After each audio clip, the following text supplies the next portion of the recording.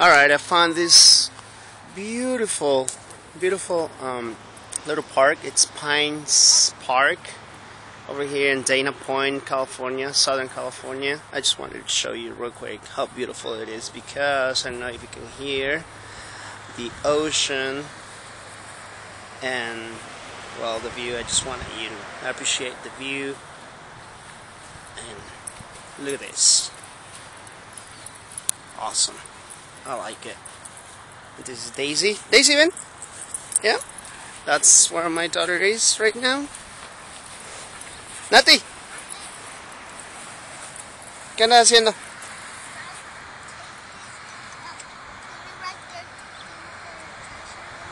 Okay.